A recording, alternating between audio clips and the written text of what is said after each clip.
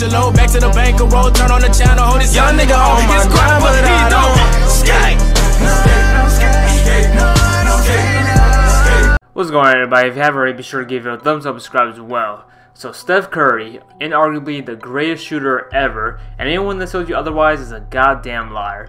Changed the game with the shot, two-time MVP, one unanimous, three-time NBA champion, and apparently he's been shooting all these threes with a blurry vision.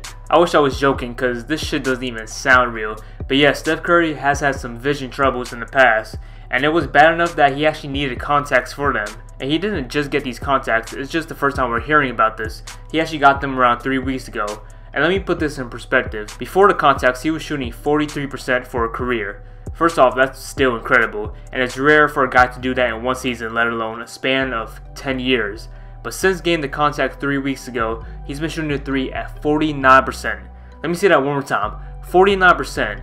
It's over at this point. If you fuck around and let him get comfortable, he's gonna be pulling up from half court like it's a layup.